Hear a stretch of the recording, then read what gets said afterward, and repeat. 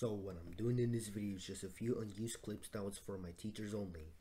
But now I decide to show it to you. However, all audio is muted to prevent any information to be leaked. So sorry people. Alright, so this is all I'm going to say here, so goodbye for now.